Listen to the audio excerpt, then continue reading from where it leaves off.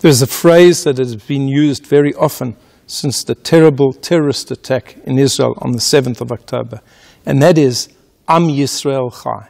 The nation of Israel lives, or the nation of Israel will live. And this is part of a, a song that is often sung on Simchat Torah, when we dance with the Torah. Am Yisrael Chai, the nation of Israel lives, Od Avinu Chai. Our Father still lives. What do we mean by Od Avinu Chai? Our Father still lives. Who is our Father? Is it perhaps Hashem? We refer to Hashem as Avinu, Avinu Malkeinu, our Father, our King? No. When we say Od Avinu Chai, our Father is still alive, we are referring to Yaakov, Jacob. What do we mean by Od Avinu Chai? There's a fascinating passage in the Talmud where one of the sages said, Yaakov Avinu lo mate. Our forefather Jacob never died.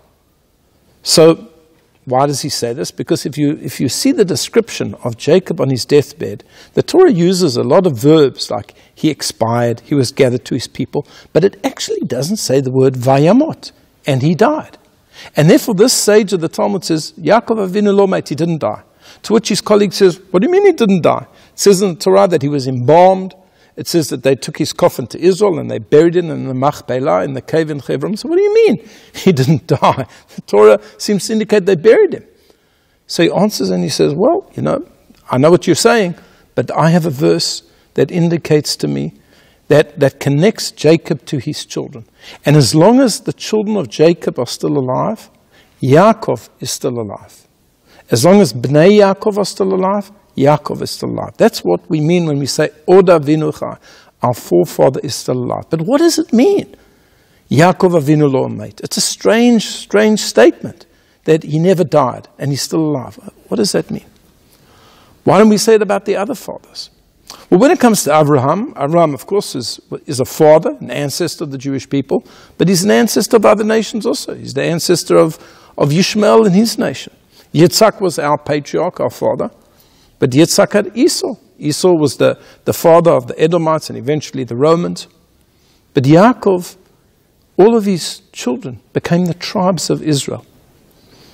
And those other nations have disappeared.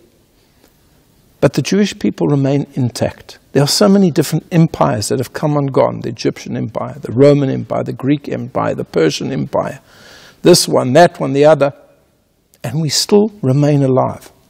And by remaining alive, but not just remaining alive, by being productive and learning and, and, and being people who have a fertile mind and want to grow all of the time, despite all of the hardships that come upon us, we keep the memory, not just the memory, but we keep the soul of Yaakov alive. As long as his children are still alive, he is still alive. He is the father of the, of the tribes of Israel. And this should give us so much encouragement. It's been a very difficult time for the Jewish people since Simchat Torah 7th of October. But Od Avinu Chai, our father is still alive. We carry on what he stood for. We carry on the legacy that he brought to us, and he continues to live with us ad biat Mashiach until the coming of the Messiah.